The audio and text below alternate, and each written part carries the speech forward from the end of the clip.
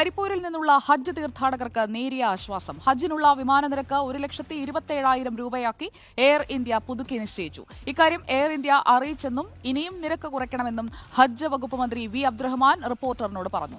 Ticket charge കുറച്ചെങ്കിലും മറ്റ് വിമാനത്താവളങ്ങളെ അപേക്ഷിച്ച് കരിപ്പൂരിൽ നാൽപ്പതിനായിരം രൂപ ഇപ്പോഴും തീർത്ഥാടകർ അധികം നൽകണം.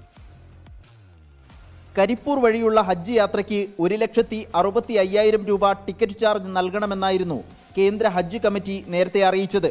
എയർ ഇന്ത്യ മാത്രം പങ്കെടുത്ത ടെൻഡർ റദ്ദാക്കണമെന്നും നിരക്ക് കുറയ്ക്കണമെന്നും ആവശ്യപ്പെട്ട് സംസ്ഥാന സർക്കാരും മുസ്ലിം ലീഗ് എം പിമാരും കേന്ദ്രത്തെ സമീപിച്ചു. വിഷയത്തിൽ അനുകൂല തീരുമാനമുണ്ടാകുമെന്നായിരുന്നു കേന്ദ്രത്തിന്റെ മറുപടി.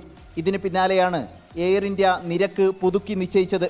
മുപ്പത്തി എണ്ണായിരം രൂപ കുറച്ച് ഒരു ലക്ഷത്തി ഇരുപത്തിയേഴായിരം രൂപയാണ് ഇനി തീർത്ഥാടകർ യാത്രാക്കൂലിയായി നൽകേണ്ടി വരിക. നിരക്ക് ഇനിയും കുറയ്ക്കണമെന്നാണ് സംസ്ഥാന സർക്കാരിന്റെ ആവശ്യം.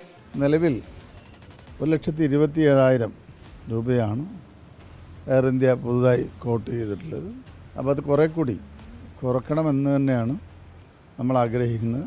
അത് ബന്ധപ്പെട്ട ആളുകളെ അറിയിച്ചിട്ടുണ്ട്.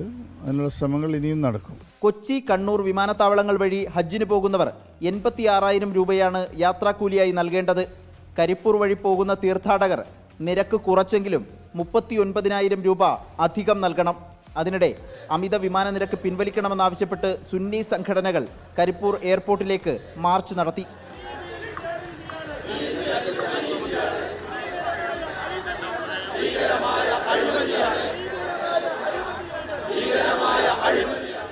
റിപ്പോർട്ടർ തിരുവനന്തപുരം.